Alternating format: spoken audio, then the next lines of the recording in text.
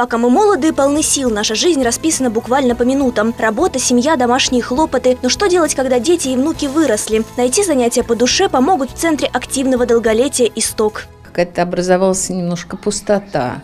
И вот э, спасибо администрации города, что организовали вот такой центр долголетия продуктивного именно долголетия, который заполнил вот эту вот пустоту жизненную.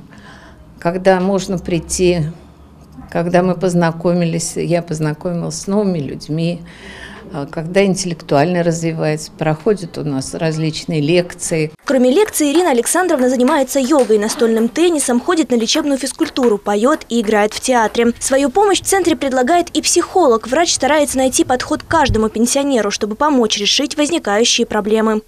Проводим как бы все различные упражнения, чтобы восстанавливать, например, познавательные процессы, которые у людей пожилого возраста уже как бы исчерпаны, можно сказать. Вот и стараемся поддерживать. Активности ульяновцев серебряного возраста можно только позавидовать. Они поют, занимаются рукоделием, выступают на публике и даже осваивают современные гаджеты. да, да, да, на него нажимаете и все. Вот уже два года на базе центра успешно функционирует диспетчерский пункт связи для глухих людей. Как видите, диспетчерский пункт работает, услуга очень востребована. Специалисты замечательные, колоссальные. То есть народ всегда очень много.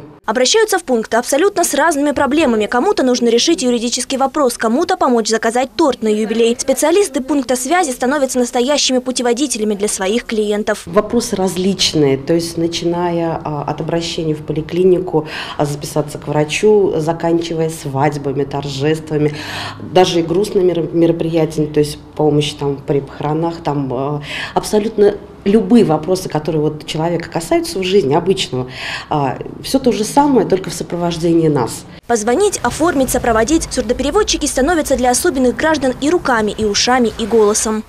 Я обращаюсь часто, да. Сейчас я обратилась, мне нужно узнать по поводу а, недоплаты пенсии, а, про операцию супруга. Я очень часто обращаюсь, мне помогают, все мои заявки принимаются, я обслуживаюсь вот у конкретного переводчика. Здесь душевные люди, все получается как нужно.